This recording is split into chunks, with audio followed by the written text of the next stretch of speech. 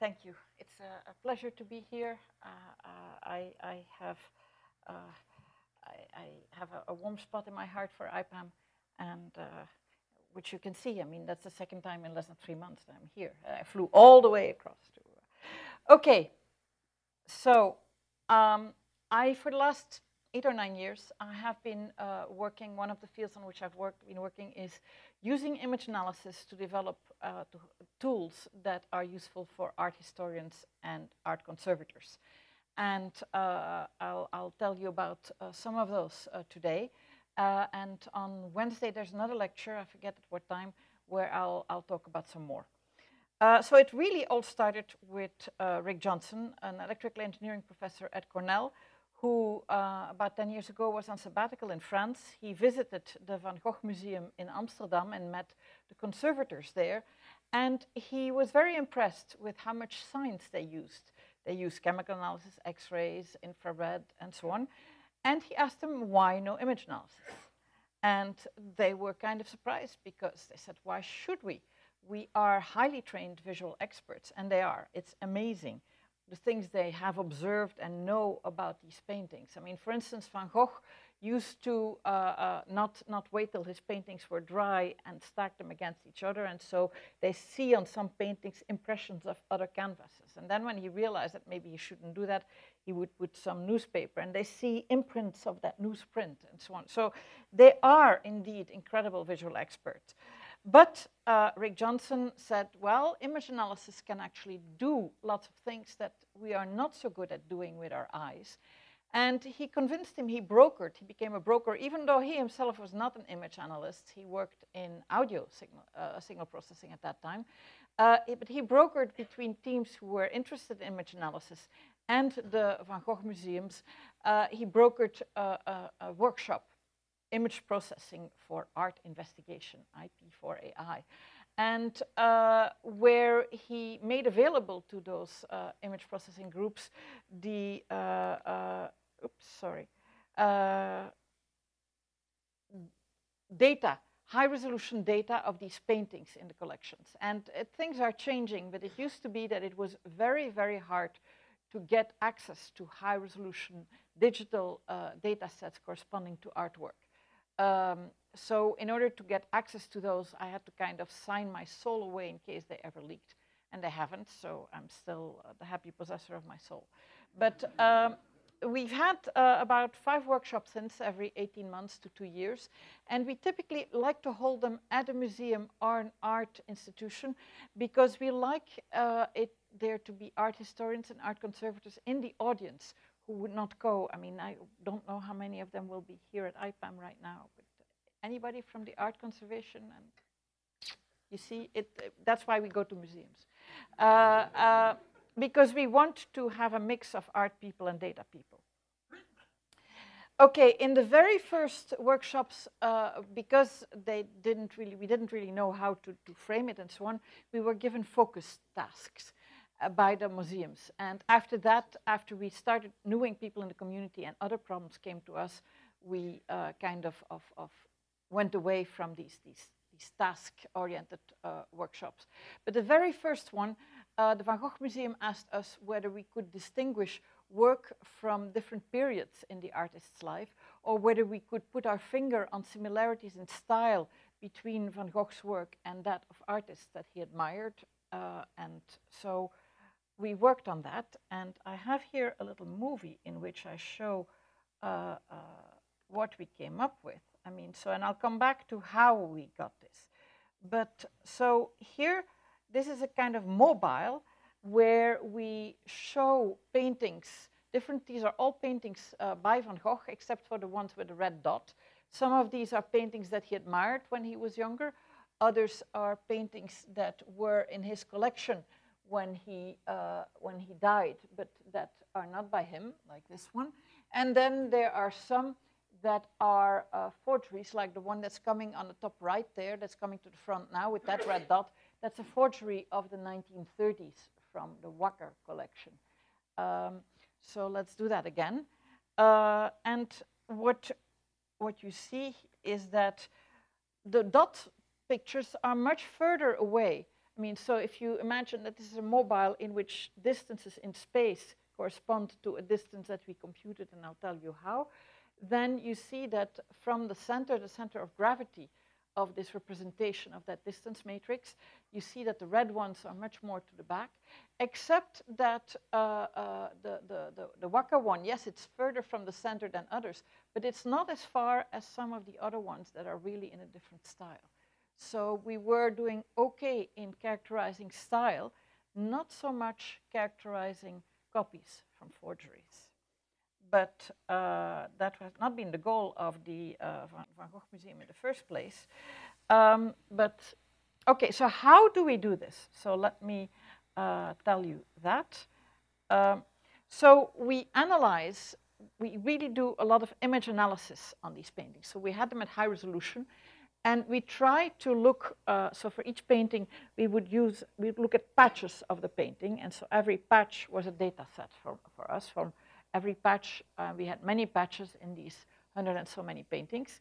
And we would uh, look at image content at different scales and try to identify at what information, at what scale information lives and find hierarchical relationships among scales. And we would summarize that for each patch in a kind of statistical, in the feature vector, uh, uh, which we would then use to compute the distances. So let me explain about how I determine information at different scales. Uh, so I'm going to do it all. Ah, I, I, do it all because this is a public lecture without formulas. But I had a colleague at Bell Labs who said a picture is worth a thousand words, but only if you have the thousand words. So I'm going to show you only pictures, but I want to assure you I have those thousands of words. I mean, and I can give them to you afterwards. So, okay, here is one of these, these uh, uh, paintings by Van Gogh. And let's look at just, uh, uh, imagine that we blur the painting. Then, I mean, first of all, how can I start computing with these paintings? Well, these paintings, these are high resolution digitizations. So every pixel, if it's a black and white version like here, is just a number that corresponds to the gray level with zero standing for all black, 255 for all white, and then that gives us 256 total values in all, that's eight bits. So between that zero and that, uh, uh, that all black and that all white, the 254 levels of gray, we have many more shades of gray than people in literature uh, uh, uh, give us numbers for each pixel, and we can then, pixel by, we can then compare different versions of the image by looking at differences, so if I blur this image a little bit and I look at the difference between them, I see this and I, let me enhance it and then you see that. You see that what I'm, I'm, I'm, what I'm seeing is exactly the information that lives at very fine scale and it's slightly blurred away. I mean, all those fine lines.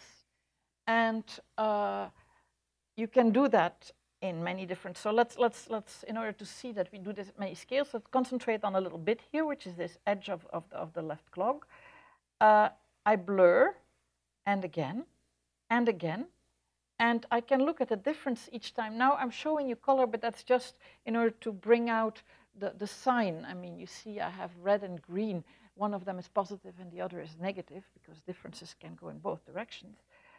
Uh, here and another difference. So if I look at these three consecutive difference images, then you see that they have features in common.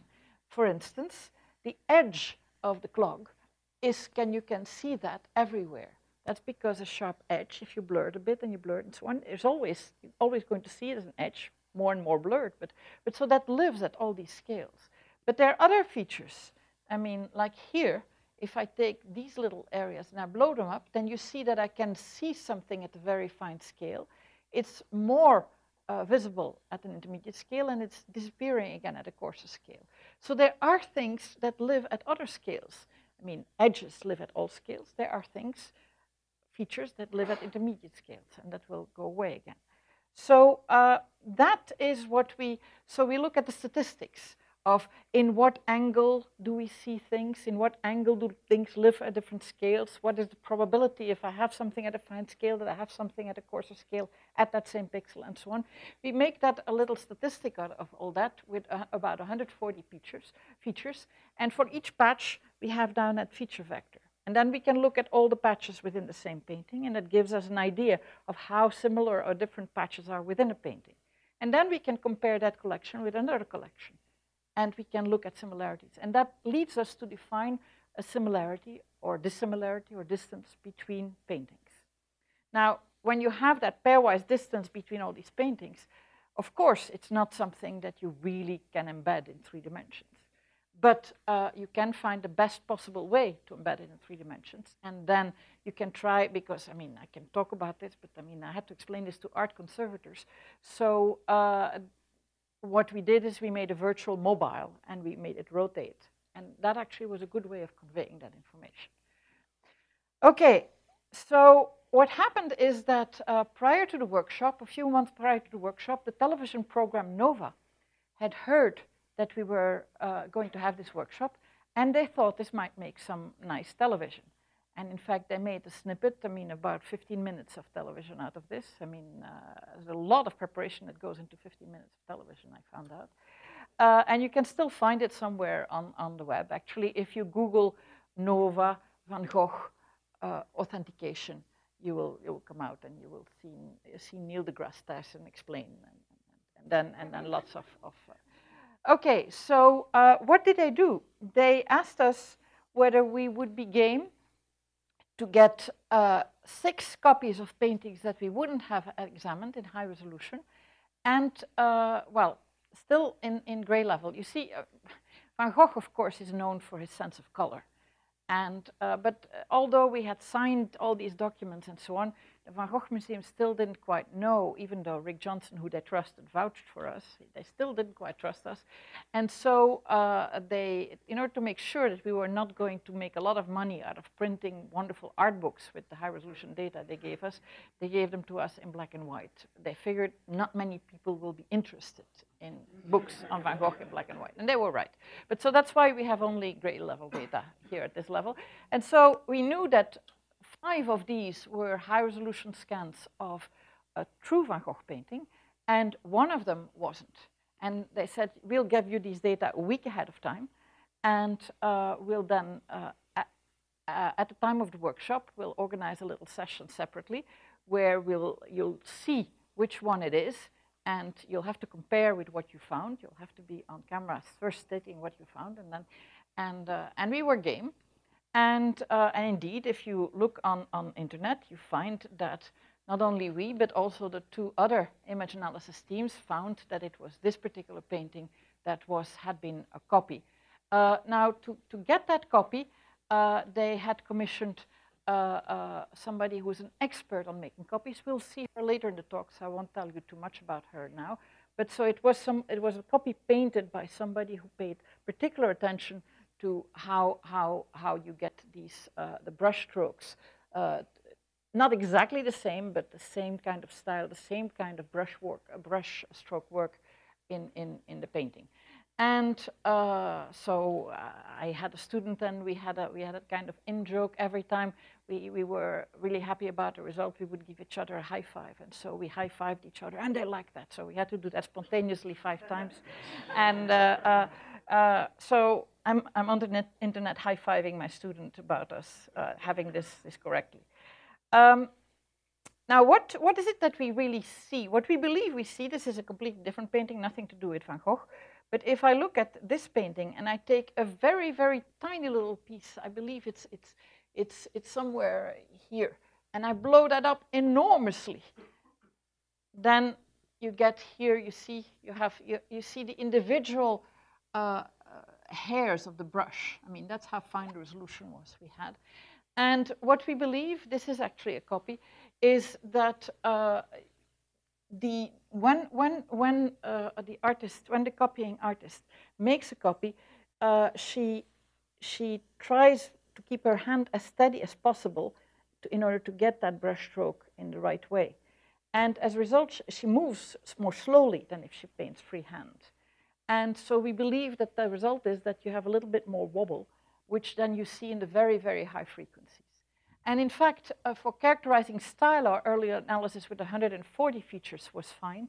We found that in order to uh, distinguish copies that had really been meant to have the right uh, brushwork, the right style, from originals, we had to restrict ourselves to only the very high frequencies In the coarser frequencies, you wouldn't see a difference. But in the high frequencies, we saw that, and that's what we believe we see.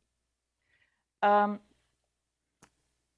but it's like often in, in, in machine learning, uh, we, we, we have good accuracy, but it's not as interpretable as you want because it's a very mix of many features and so on. And we'd like to work towards more interpretability. I'll come back to that. But so that's what we saw. Now, uh, the Van Gogh Museum said, well, all that is very, very nice. Uh, uh you have, uh, that was nice television, but let's try to be a little bit more scholarly about this.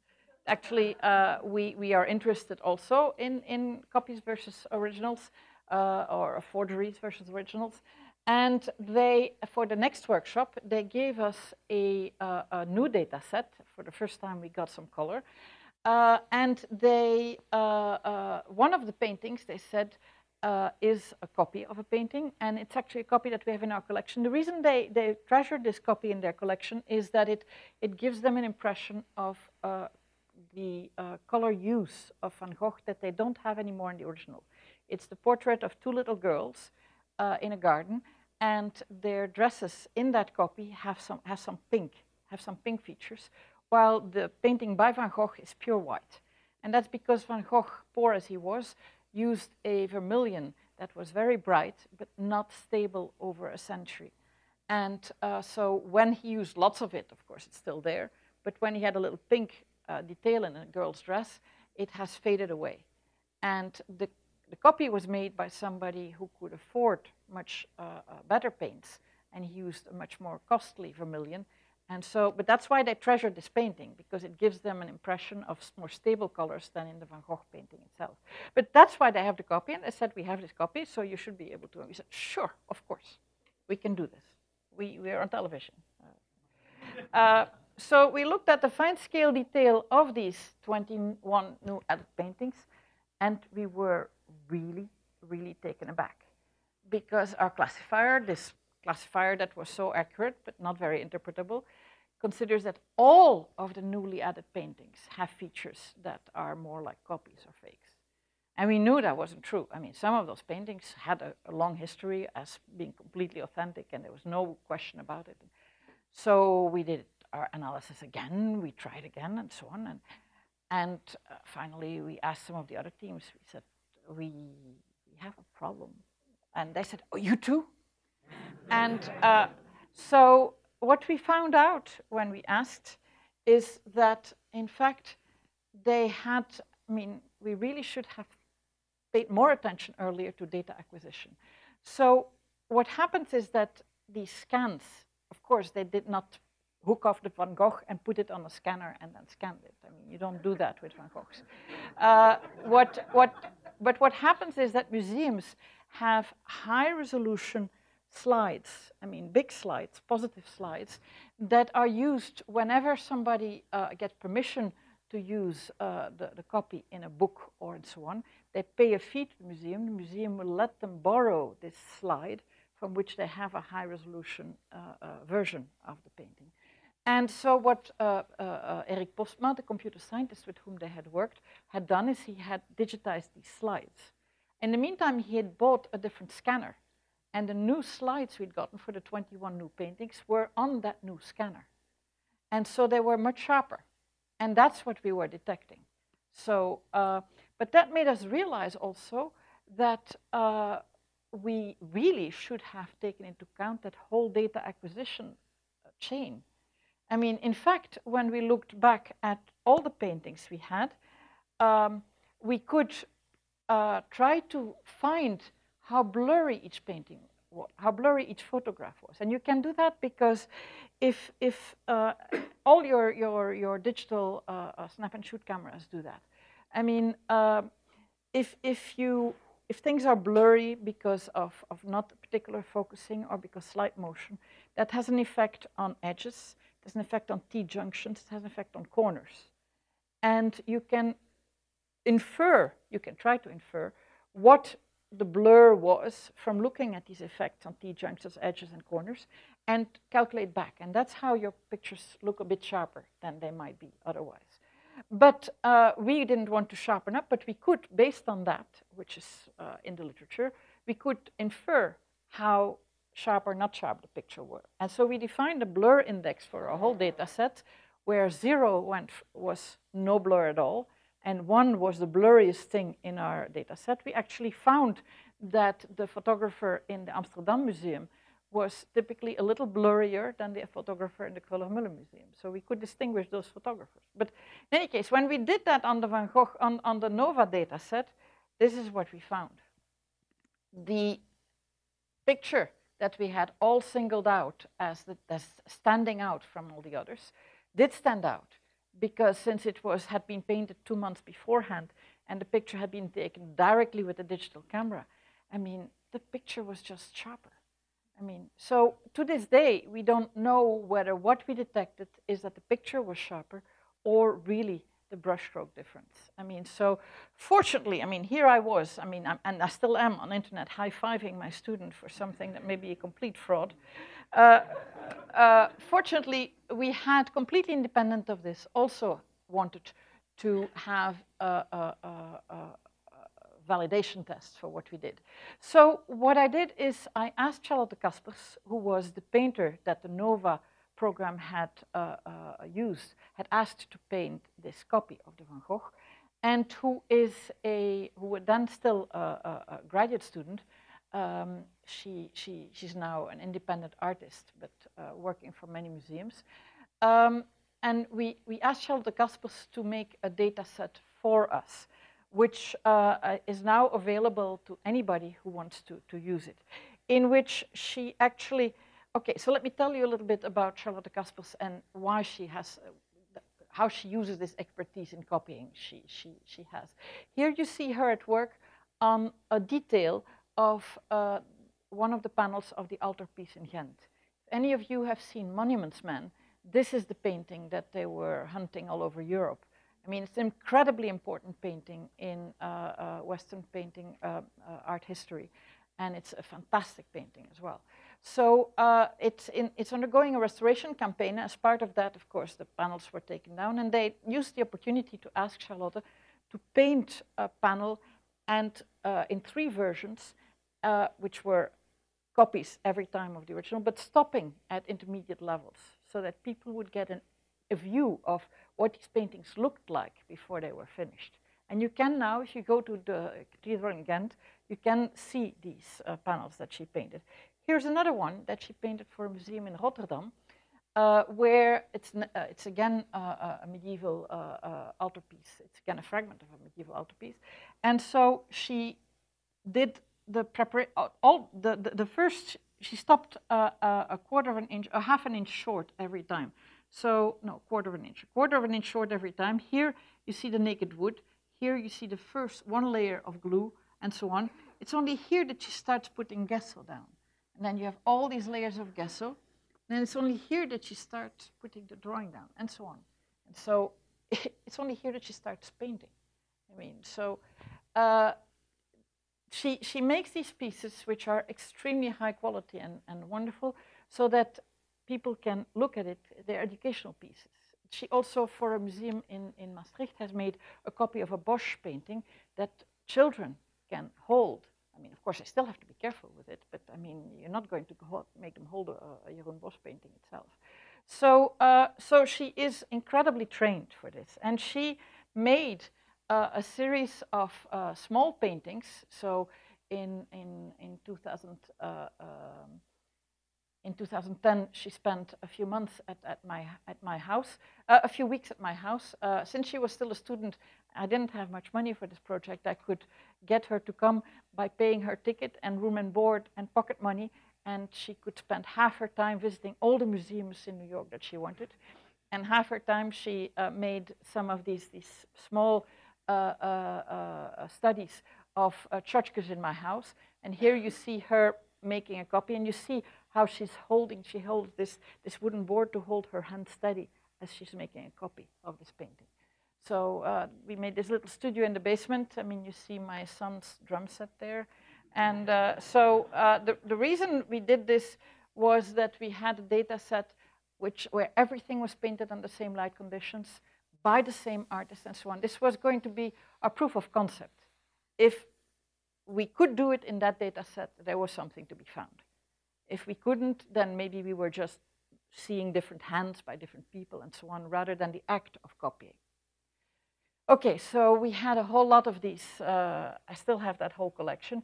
They were with a variety of materials and styles. Here is something very open and on a heavy canvas. There is something on, on a board and, and uh, with a much flatter uh, way of painting. She, so we, we, we know everything about the data set. It's also, we scanned those paintings directly, so we had a much shorter chain of, of data acquisition. And what we found is that uh, we could distinguish copies from originals in these paintings when she used both hard and soft brushes. When she used only soft brushes on a very smooth background, we were not so sure. Uh, and what we found that the difference made was the very fine details in, in, but also some other features. And we still wanted to understand. We actually made the data set available, and it was then analyzed by a group in France that uses completely different image analysis techniques. Uh, they use a kind of fractal analysis and so on. But they also found, came to the same conclusion about which pairs they could distinguish, could find the ground truth and which they couldn't. Um, now, how we, we, we did that, so if we, if we take two paintings, green is original, red is the copy, then we would make them into patches. We would use, we didn't want to, uh, uh, to, to, to, have the same content because ideally you'd like to use 50 paintings by the artist and then look at a painting that is controversial. But I mean, we didn't have that. I hadn't money to pay Charlotte to paint a whole gallery full. So, uh, and for each style we only had one pair. So, but it was so high resolution that we would cut it into patches. And we would use different patches. So none of the patches are the same in here. We would use uh, patches from the original and the copy, which were not the same content. And then we would use yet other patches in order to do the testing. And um, we found that, as we said, we could uh, distinguish copies from originals. We wanted to revisit that sometime because it was, although we had good accuracy, it was, I mean, not very interpretable. I mean, and, and if you wanted to tell this to, to experts, you want to express it in painterly terms. In, I mean, and we didn't have that at all. Um, and in 2013, I had a, a, postdoc who really was interested in doing, in revisiting this. And so we revisited the original study. And uh, we made some changes because uh, Charlotte, after the, we had done the first thing, and I discussed it with her. She had been delighted we could distinguish because she didn't think we would be able to. But uh, when she later found out that we had used our patches, as I showed you, all over the painting, she said, oh, you really shouldn't have used background patches. You really should have concentrated on just the objects in the painting because the background I made freehand in both paintings. It's not, not part of, of uh, so you should, so we should have masked out in both the training and the test set the background and concentrate on that. And uh, my, my postdoc also said that she felt awkward about all these, these dispatching all over, and especially now that we were, I mean, if we were going to make little rectangular patches, then we were going to lose even more. So she just distinguished it into layers. So she grouped things I mean, again, we took different content for testing and training, but uh, she took uh, sets. And um, what she found is that if we did the same techniques as before, uh, the results were quite a bit less convincing. We were wondering why that is. And uh, I mean, it turned out that uh, in the meantime, machine learning had made progress. So if uh, uh, it turned out that although they were less convincing, they were still significant. But as we tried to think, why was that? Why, now that we don't take patches that are close to each other, but in, in, in strips like that, why are we having problems? And then I realized maybe we had again been, uh, I mean, painting at which for which I showed it to you was a painting with very heavy canvas. I mean, actually, some of the paintings had heavy canvas and others didn't. And those that had heavy canvas, we had more of a problem once we started looking at, at no longer neighboring patches in test and training. And so maybe we had been learning the canvas. Yes, we could see these are from one and these are from the other. If we were learning the canvas, then that's hardly uh, uh, convincing. Um, so, however, in the meantime, we had for a completely different uh, uh, uh study, so the results, especially with better machine learning, were still significant. We also have developed a way of removing canvas artifacts from a painting, uh, which we have used, and in fact, the results still, uh, with the newer methods, show us difference between original and, and, and, and uh, copies if you remove the canvas. Canvas removal actually is uh, one of these examples where uh, other problems came out of the woodwork as we talked about what we could do. let me segue a little bit aside because I, I thought it was a fantastic uh, uh, uh example. There was, uh, so after one a talk I gave in Brussels, uh, somebody came up to me and said from the museum in Brussels, he says, we have a Gauguin, it's in very bad condition, it needs to be restored because, uh, well, uh, Gauguin did not uh, paint it on, on, on jute, so it's not very well primed, and so on, so it, it, it really, but the, uh, the, the, the guy who's going to do the restoring, I mean, before we start restoring, we always study these paintings very, very carefully and to, to, to see what is going on. And he's having problems with it because the canvas structure is so pronounced. I said, well, but it must have been pronounced when he painted it. So I said, no, no, no. I said, because these things get varnished. And in the valleys, you always have a little bit thicker varnish than on the mountains. And that varnish was not a very good, uh, varnish always yellows, but this varnish has darkened a lot. So the pronounce is now much more pronounced than when he painted it. And in order to, I mean, he's going to remove it, but in order to plan what he's going to do and, and so on, he likes to think ahead. He likes to be able, and it's impossible to think those away. And uh, I mean, I find it strange that you want to be able to think these things away before you actually do the physical thing. But I mean, we, so we, we studied how to remove that canvas structure. And when we showed that, they were very happy with that result. I mean, it's a result I would never have tried to do because who thinks about trying to remove canvas from a painting? But uh, he did, we could do that and so on. But that means that we had this technique, so we could apply it to these paintings and ch check whether we could do originals and copies. And we could, and I was very relieved. But we had also, in the meantime, uh, thought of making a new data set in 2013 as well. Uh, Charlotte Caspers came to, uh, uh, uh, to spend two months in North Carolina. She spent one month on, the, on what I'm going to show you, and then uh, uh, another month at the North Carolina Museum of Art on a project that I will talk about on Wednesday. And she made paintings on masonite, so which is a very nice, very flat board that is used to, for, for, for artists. So there's no canvas structure. We knew we wanted to steer away from that. And also a truly blind data set. What I mean by that is, so she painted this series of studies of birds. And for the blue jay at the very top there, uh, we know which is the original and which is the copy. Green is the original, blue is the copy. Uh, we also have a smaller set of hummingbirds that she painted where we know. But all the others, she made a marking on the back that made it clear so she could make records and so on, but it doesn't say original or copy. And that information was put under sealed uh, uh, cover in the art department. I mean, so the uh, Department of Art and Art History at Duke has uh, uh, that information, uh, and we don't have it, and we have never had it. I don't know what these other paintings are. and so um, the, the idea was that as we develop techniques,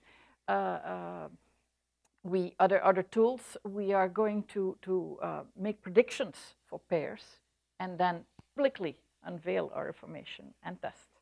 So we had a, a, a very good undergraduate who did an honors thesis uh, in statistics and who worked with the two originals, the, the blue jay and the hummingbird, and looked at these two cardinals.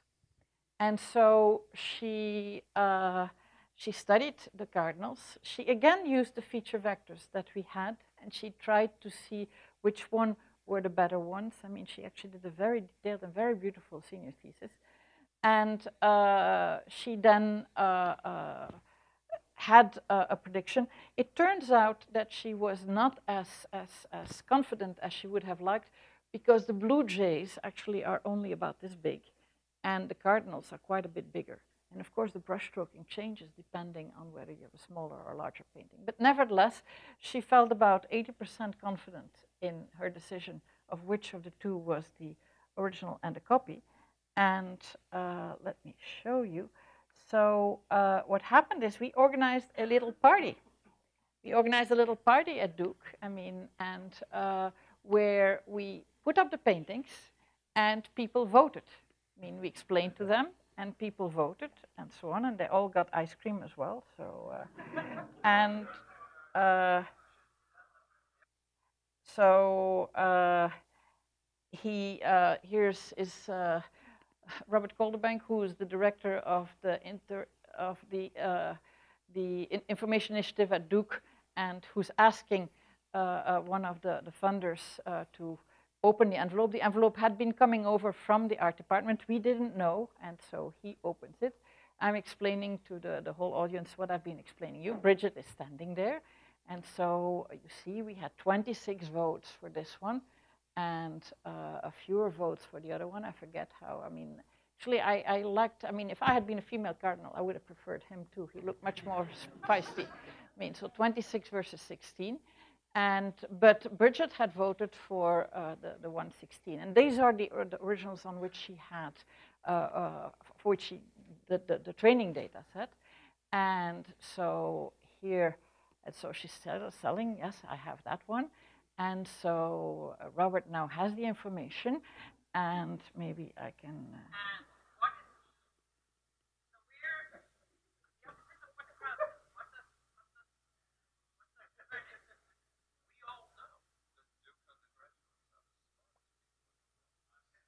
So Duke undergraduates, he's saying, are the smartest people in the world. I'm sorry, I, am hearing it, but you do not. And she got it right. So, uh, so I, I posted this to, uh, to uh, uh so I posted this to uh, Charlotte, and she was very pleased as well, of course. So um, I have I'm glad that I have a little bit time of time left to tell you a little bit more. So that is about originals and copies. Uh, we now, what now Bridget is going to do is she knows this, these, these, these red cardinals, and she's going to next work on the pair of these two runs. Uh, so now she's going to have a set, a data set of the same size as uh, the, the, the test data set. But again, we don't know. And uh, we already told the art department they should prepare another envelope. And uh, Bridget's going to go to, to, do this during the summer before she starts her graduate uh, studies. And, uh, but as I said, uh, do I have a little bit more time? Yeah, okay. Uh, what's really interesting with this whole program is that whenever we do something, and I talk about it, and there are art historians and, or, or art conservators in the audience, they come up to me and they say, if you can do this, maybe you can help us with that. And this is another a project that came up like that. This is a project um, that was brought to us by uh, Joris Dik and Koen Janssen, uh, who are two material scientists, except that Joris Dik is also an art historian. And they had done a study of this uh, little painting by Van Gogh, which is called uh, an uh, Polotgras, uh, a little patch of grass which he had painted in his Paris period. And it was known that if you turn this painting sideways uh, uh, and you look at it with an X-ray, you see that there's something else underneath. And this is, uh, you see that it's X-rays because you see all these nails of this, on the stretcher. Uh, and which is not a surprise. I mean, about uh, Van Gogh was, was poor and canvas isn't cheap. So uh, whenever he felt that a study had taught him all it was going to teach him, he would, if he didn't want to keep the painting, he would put a layer of primer over it and paint something else. About 30% of his paintings have something else underneath. So that's not so surprising. The reason why people were especially interested in this painting is that uh, uh, in the voluminous correspondence between Vincent and Theo van Gogh, which has been preserved, There's a letter written from Vincent in, uh, in, in, in the Netherlands to his brother uh, then in Paris, where he says, I'm, uh, I have been experimenting a lot recently with a very dark palette, and I'm trying to capture and render the idea of color with only this restricted palette. And uh, I'm painting, and we do have hundreds of portraits of peasants in these very poor light conditions in which he was painting them. He says, and I'm sending you here a painting in which I think I succeeded uh, uh, uh really very well in this. And although we have that letter, we don't have that painting. There was no such painting corresponding to his description among uh, uh, Theo's effects when he died.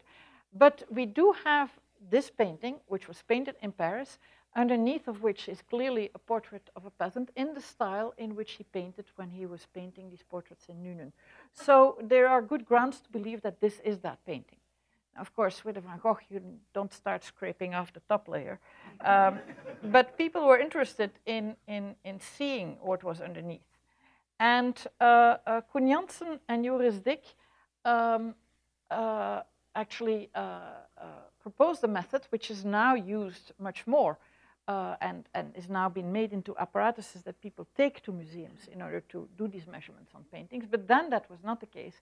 They used X-ray luminescence in order to uh, uh, look at these. What that means is that they looked at, with a very high energy X-ray beam, they would look at a little pixel, pixel by pixel of the painting, so one pixel worth. And they, this, is, this would excite the uh, photons and the electrons. They would, uh, uh, the electrons in, in, in, the, in, the, in, the, in the atoms, they would ionize, and then the electron would drop back, but in two jumps. And the bottom jump is between two bound layers of the atom, and so has particular energy that's characteristic for the element that you're looking at. And so by doing this high energy X-ray bombardment and then measuring what the frequencies and the intensities you get out, you can see what elements are present at different places. And so this is, for instance, what they did pixel by pixel in, uh, in, in um, antimony, which was a component of the Naples yellow, the only light color Van Gogh had on his palette pen. This is in uh, which is a component of the vermilion that he was using, and you see how the lips stand out. The and then uh, this is in mercury, uh, in which you actually almost don't see anything of the picture below. You mostly see the picture on top.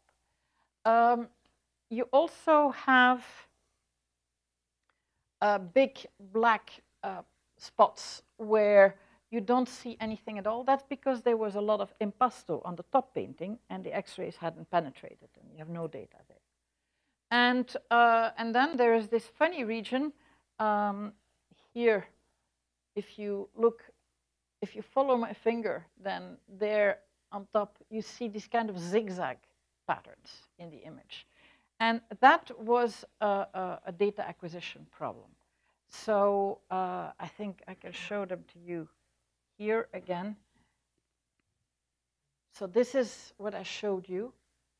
Uh, what happened is these, why, why do you get a high energy X-ray beam? They didn't have one at the time, they didn't have an apparatus. You find those in hospitals, in hospitals where they use them in order to make short-lived radioactive materials that they use for medical tests.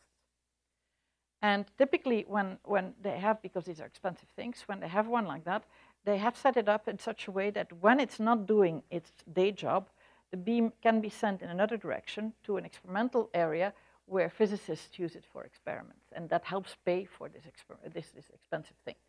And so they had obtained uh, some time in this experimental area to examine the painting. And when the beam was in their direction, the thing was on a sled, they would measure a spectrum and then the sled would move a little bit, they would measure and so on because the beam was always in the same place. And then, of course, when as soon as the beam was needed again, it would go back to its day job, and then the whole thing had to stop until it came back. And apparently there was a synchrony problem. And so the scanning going in zigzag like that caused this kind of, of uh, now here you see it very much, but in fact there are little breaks all over. There are typically five or six break, to six breaks in every line. And uh, so what they had done in order to, to, to read the, the, the, picture out was to, to, uh, uh, to, correct a little bit by hand. but they asked, can you do mathematically something better than this? And yes, we could, because what you do is you do you write a variational algorithm where you go through it in several sweeps in order to ah Stan, you're going to like that to minimize the total variation. and so uh, and so we could correct. And then once we had corrected, what we could do is we could mask all the black blobs and uh, we could inpaint and really literally inpaint because it is painted brush strokes that you can reconstruct. So we would do that. We inpaint it. And then uh, for these long stretches that came from the grass, we masked those as well and we inpainted, we marked those and then we inpainted those as well. And then we still had problems with the eye. You see there's, there's stuff here around the eye that we'd like to correct. And we didn't really know how to do that. And so we asked art conservators, and they say, oh, you use the other eye. We do that all the time. So we said, well, we can do that. And so we got the other eye. And so we had already a much cleaner version of this lady. But then there's also the idea of color. And so, uh, oh, here you see actually how the inpainting works. It really works very nicely and, and delicately. I mean, uh, inpainting algorithms uh, use the idea that you, you, you know the surroundings. You can study how the artist painted elsewhere, so you know if you start at the beginning and the end, what was likely in the middle, and so you inpaint it gradually. And then, so this is actually, this is something that uh, uh eight, uh, eight years ago, if you typed in Van Gogh and woman portrait, uh, and you hit images, all your hits would be this because it made such a splash to get a better impression of this lady underneath. The, we called her Lady Six Millimeters Under, which is something the art historians did not like at all. Uh, but uh, uh, uh so she, they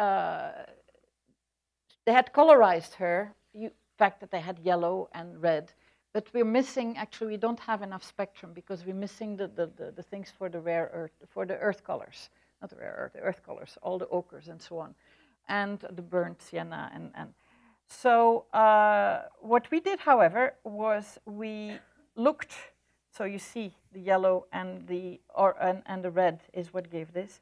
What we did is we looked at other portraits that Van Gogh had painted in this period. Uh, so this is another one, the one with the least contrast that he painted. And here's one with the most contrast he painted. And what we found is that if we, uh, uh, if we,